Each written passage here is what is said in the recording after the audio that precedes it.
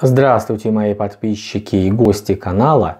В этом видео рассмотрим устройство и принцип действия хлебопекарных печей малой мощности. Хлебопекарная печь является основным технологическим агрегатом при производстве хлебных изделий. Этот агрегат определяет тип и назначение предприятия, на вооружении которого он находится, и в ряде случаев обуславливает вырабатываемый ассортимент и качество изделий. Промышленные печи, применяемые для выпечки хлебных, булочных, бараночных, сухарных изделий, имеют технологические и конструктивные особенности, при которых достигается высокое качество вырабатываемой продукции, наилучшие технико-экономические и эксплуатационные показатели. Поэтому на предприятиях, вырабатывающих тот или иной вид изделий, применяют соответствующие печи. Производительность печи обычно увязывается и с производственной мощностью предприятия. Естественно, что предприятия большой, средней и малой мощности оборудуются печами, соответствующие им по производительности. Хлебопекарные печи малой мощности – Хлебопекарные печи с канальным обогревом HR1 относятся к группе печей со стационарным подом непрерывного действия и применяются для выпечки всех сортов хлебобулочных изделий. Хлебопекарная печь HR1 состоит из топки с обогревательными каналами, пекарной камеры с системой увлажнения и водогрейного котелка, соединенного трубопроводом с системой горячего водоприготовления на предприятии. Топка 1 приспособлена для сжигания дров, торфа, газа, мазута, а при устройстве дутья и для сжигания угля. Обогревательные каналы кирпичные 13 под подом пекарной камеры и металлические 8 из дымогарных труб или в виде плоского перекрытия из листовой стали над пекарной камерой. Пекарная камера занимает всю среднюю по высоте часть печи. Для удобства обслуживания и сохранения пара имеет небольшой уклон в сторону посадочного фронта. Выстилается пекарная камера красным кирпичом первого сорта.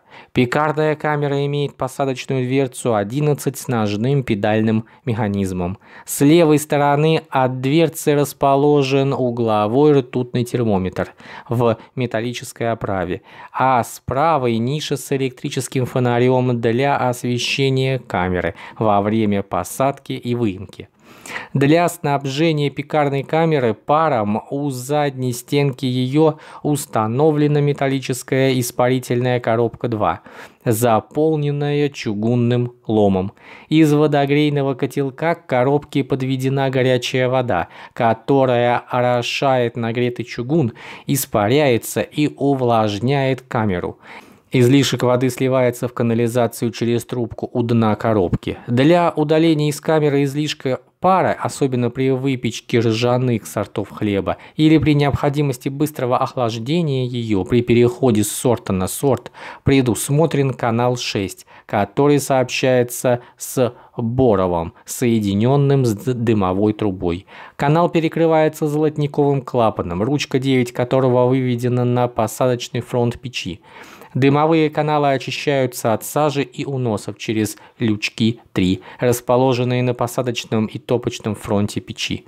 Горячие дымовые газы из топки 1 направляются по нижним кирпичным каналам 13 к вертикальным газоходам 12, расположенным в углах передней стенки печи, а откуда поступают в металлическую сборную коробку 10. Проходят по дымогарным трубам 8 и попадают в сборный канал 4, расположенный в задней стенке печи. Из сборного канала газы с помощью поворотных шиберов могут быть направлены или под водогрейный котелок 5, или минуя его в боров печи 7. На случай необходимости уменьшения теплоотдачи от дымогарных труб или плоского металлического перекрытия пекарной камеры при подгорании верхней корки изделия, в задней стенке печи предусмотрены два вертикальных канала, по которым, открыв поворотные шиверы, можно часть или все газы из нижних кирпичных каналов, минуя дымогарные трубы, направить под котелок или в боров. Посадку тестовых заготовок и выемку готовых подовых изделий производят вручную деревянными лопатами с ручками длиной от 2 до 4 метров. Для посадки и выемки формового хлеба применяют железные лопаты и кочерги. Печь ФТЛ-20 представляет собой люлечно-подиковую печь с канальным обогревом и предназначена для выпечки хлебобулочных изделий широкого ассортимента. Печь состоит из пекарной камеры 1, двухъярусного конвейера 2 с 17 подвешенными люльками размером 1400 на 350 мм, топки 5, двух водогрейных трубчатых теплоутилизаторов 4 и двух трубчатых парогенераторов 6. Стены и своды перекрытия печи сложены из красного кирпича. Своды над топкой и газоходами с высокой температурой из огнеупорного кирпича. Конвейер печи приводится в движение от электродвигателю 1 кВт 940 оборотов в минуту через ременную передачу, червячный редуктор и пару цилиндрических шестерен. На случай необходимости предусмотрен ручной привод. На слайде представлена схема газового тракта печи. Дымовые газы из топки направляются по центральному каналу 1, разветвляются на два параллельных газохода 2 и поступают в вертикальные каналы 4, расположенные в задней стенке топочного фронта. Далее по верхним газоходам 5, отдавая тепло через металлические перекрытия пекарной камеры, следуют под теплоутилизаторы 3 и направляются в Боров. При выпечке подовых изделий из пшеничной муки, требующих увлажнения пекарной камеры, дымовые газы могут быть при помощи шиверов 6 направлены из нижних газоходов по каналам 7 на обогрев парогенераторов и далее по вертикальным каналам 4 по описанному выше тракту. Посадочное отверстие печи оборудовано дверцей 9. Выгрузка подовых изделий на ленточный транспортер 7 производится автоматически при помощи копиров 8, наклоняющих люльку на 30-45 градусов. Для увлажнения пекарной камеры пар из парогенераторов 6 поступает по трем трубкам 3, две из которых расположены в первой, а одна во второй зоне камеры. В начале загрузки включают электродвигатель привода печи. Когда загорится сигнальная лампа реле времени, открывают посадочную дверцу и производят посадку форм или тестовых заготовок на люльку конвейера. По прошествии установленного времени реле автоматически включает электродвигатель привода и загруженная люлька перемещается на один шаг. Последующая загрузка производится в той же последовательности до момента, когда будут заполнены все люльки и первая из них пойдет к отверстию под разгрузку. Печь УПГ-3 относится к группе печей с канальным обогревом и предназначена для выпечки ржаного и пшеничного хлеба, булочных и мучных кондитерских изделий. Печь состоит из пекарной камеры 1 металлического карусельного пода 2 площадью 2,9 квадратных метра, топки 5 и водогрейного котелка, расположенного над верхним перекрытием. Металлический карусельный под диаметром 2180 мм изготовлен из уголковой стали стали и опирается на упорный шариковый подшипник.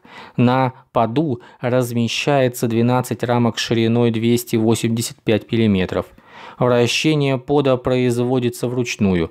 Дымовые газы из топки направляются по нижним горизонтальным газоходам 6 и по вертикальному каналу, расположенному в правом углу стены посадочного фронта проходят верхние газоходы 4, обогревают через металлическое перекрытие 3 пекарную камеру, поступают под водогретный котелок и далее в боров.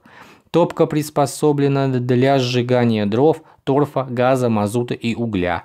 Посадка форм или листов с тестовыми заготовками производится через посадочную дверцу сразу на весь под. Дверца закрывается и через установленный промежуток времени производится выгрузка готовых изделий в том же порядке, в каком происходила загрузка пода. Печь П-119М относится к тупиковым люлечно-подиковым конвейерным печам с электрообогревом и предназначена для выпечки широкого ассортимента хлебобулочных, бараночных и мучных кондитерских изделий. Печь состоит из блочно-каркасного ограждения и пекарной камеры 2, в которой размещен двухъярусный цепной конвейер 3 – Цепи конвейеров втулочно-роликовые с шагом 140 мм. На конвейере через каждые три звена подвешены люльки 4 размером 1410 на 285 мм с высотой подвески 150 мм. На этих люльках выпекается формовой хлеб. Для выпечки подовых изделий на люльке устанавливают сменные подики размером 1410 на 350 мм. Передний вал конвейера приводной, а задний натяжной. Валы опираются на подшипники качения, которые у приводного вала вынесены за пределы печи, а у натяжного расположены в нишах боковых панелей ограждения. Движение конвейера равномерно прерывистое, осуществляемое Е с помощью реле времени и концевого выключателя, установленного у приводной звездочки. Привод печи состоит из электродвигателя, клиноременной передачи, червячного редуктора с передаточным отношением 37 и цепной передачи. Обогрев пекарной камеры производится от трубчатых электронагревателей 5 мощностью 2,5 кВт всего в печи предусмотрено 30 нагревателей общей мощностью 75 кВт. Нагреватели установлены на обеих боковых панелях печи. Ограждение печи представляет собой пустотелые панели шириной 250 мм из тонкой листовой стали, заполненные изоляционным материалом. Для более равномерного распределения температуры в пекарной камере между верхней и нижней ветвями конвейера размещен экран 6. Увлажнение пекарной камеры производится паром от котельной предприятия. Пар подается тремя паровыми гребенками 10, которые увлажняют тестовые заготовки на четырех люльках. В нижней части печи при необходимости располагается электробойлер 7 и паровой котелок 8 с электрообогревом. Загрузка тестовых заготовок для всех изделий в печь производится вручную, а выгрузка готовых подовых изделий производится механически путем наклона люльки на угол 42 градуса при ее движении и соприкосновении с копирами 9 у боковых стен камеры. Вся аппаратура управления, регулирования и контроля температурного режима установлена на щите шкафного типа. Перед началом работы на потенциометрах устанавливается заданная температура. Разогрев печи до рабочей температуры производится вручную постепенно. Вначале включается только одна группа электронагревателей. При достижении заданной температуры пекарной камеры переходят на автоматический режим обогрева печи. Время разогрева печи от холодного состояния до рабочей температуры составляет не менее 2,5 часов. Технические характеристики хлебопекарных, тупиковых, конвейерных, люлично-подиковых печей малой мощности представлены в таблице на слайде. Элементы расчета производительности хлебопекарных печей. Производительность хлебопекарных печей зависит от количества хлебных изделий, находящихся на поду или в люльке, массы изделий и продолжительности выпечки, установленные технологическими инструкциями производства хлебобулочных изделий. Количество изделий, размещаемых на поду или в люльке, определяется расчетом и зависит от размеров изделий, длины, ширины, диаметра и величины зазоров между ними, во избежание слипания кусков теста и получения притисков. Размер зазоров устанавливается опытным путем и практически принимается от 2 до 3 см. Количество рядов размещаемых по ширине пода или люльки, определяется по формуле, представленной на слайде. Количество рядов по длине пода или люльки определяется по формуле, представленной на слайде. Общее количество хлебных изделий на поду или в люльке рассчитывается по формуле, представленной на слайде. При определении количества изделий на поду или люльке должно быть найдено наиболее рациональное их размещение. При выпечке хлебных изделий в формах зазор между ними устанавливается не менее 5 мм, а зазор между подовыми изделиями не менее 2 см. Укладка тестовых заготовок, а, выпекаемых на листах, производится аналогично размещению изделий на поду. Размеры и количество листов связывается с размерами пода или люльки печи. Производительность конвейерной печи с ленточным или стационарным подом в килограммах час определяется по формуле, представленной на слайде. Производительность конвейерной люлично-подиковой печи в килограммах час определяется по формуле, представленной на слайде.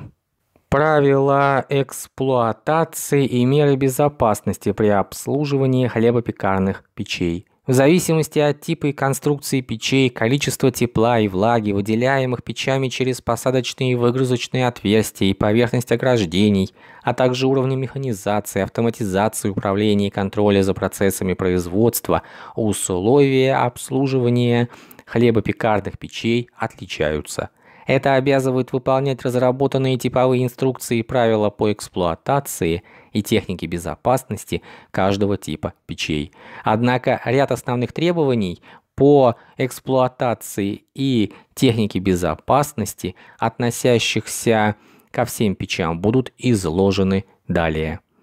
Вентиляция.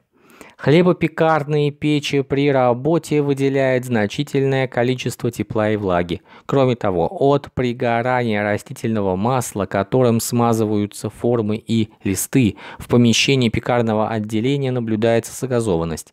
Поэтому работе вентиляции должно уделяться особенно большое внимание у рабочих мест.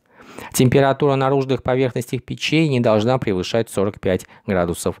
Для снижения температуры посадочно-выгрузочных зон печей предусматриваются душирующие устройства. Освещение. Все рабочие места обслуживающего печи персонала должны быть хорошо освещены, не ниже 75 люкс. Применяемые при ремонте печей переносные электролампы должны быть под напряжением 12 вольт. Электрооборудование. Для обеспечения защиты работающих от поражения электротоком все электродвигатели, пусковые приборы и металлические конструкции каркасных печей должны быть заземлены. Общие требования. К работе ухлевопекарных печей допускаются лица, достигшие 18-летнего возраста и прошедшие инструктаж по обслуживанию и мерам безопасности. Обслуживающий персонал должен хорошо изучить конструкцию печи, принцип работы печи, контрольно-измерительных приборов и средств автоматизации, правила пуска и остановки привода. Перед началом работы обслуживающий персонал должен проверить – исправность всех контрольно-измерительных приборов, работу вентиляционных устройств, наличие ограждений на приводах конвейера печи и вентиляционных устройств, исправность основного оборудования и механизмов по посадке, надрезке, наколке тестовых заготовок и выгрузке готовых изделий, исправность инвентаря, форм листов. Обслуживающему персоналу запрещается – работать на неисправном оборудовании и при снятых ограждениях, оставлять рабочее место без присмотра, загромождать проходы и пол на рабочем месте формами, листами и другими предметами, работать без санитарной одежды или в неисправной санитарной одежде, чистить и смазывать оборудование и поправлять секции с формами на люльках конвейера на ходу, Обслуживающий персонал печей отвечает за повреждения и аварии, которые произошли во время работы от несоблюдения установленных инструкций, правил эксплуатации и мер безопасности.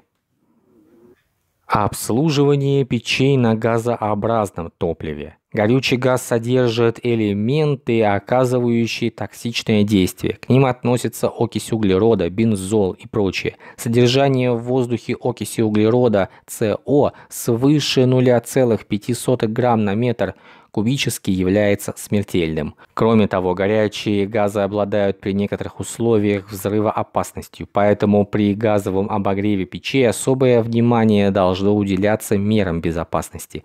Полная герметичность системы газопроводки – строгое выполнение установленных правил зажигания и работы горелок, внимательное наблюдение за контрольно-измерительными приборами и точное соблюдение мер безопасности на рабочем месте. В процессе обслуживания печей при сжигании твердого топлива особое внимание должно быть уделено правильному ведению сжигания топлива и мерам безопасного обслуживания топок. Эксплуатация и розжиг топки печей должны производиться строго в соответствии с утвержденной инструкцией. Загрузка топок топливом, шнуровка и чистка колостяковой решетки производится при выключенном дутье и в защитных очках. В топочных отделениях печей должны быть предусмотрены средства пожаротушения, огнетушители, ящики с песком и тому подобное. Обслуживание печей с электро электрообогревом производится в соответствии с инструкцией по эксплуатации печей с электрообогревом того машиностроительного завода, который выпускает печь. Разогрев печи из холодного состояния до, до требуемой температуры должен производиться постепенно. При дистанционном или ручном включении ток дается только одной группе электронагревателей. При достижении температуры в пекарной камере 100-120 градусов Цельсия включается вторая группа и так далее.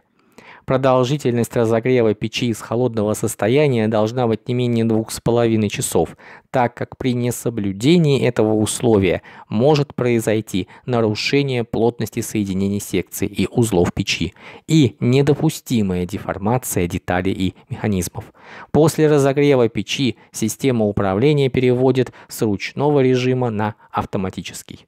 В этом видео мы рассмотрели устройство и принцип действия хлебопекарных печей малой мощности. Благодарю вас за внимание, подписывайтесь на канал, поставьте лайк, поставьте колокольчик уведомления. Желаю вам всяческих успехов и до новых встреч!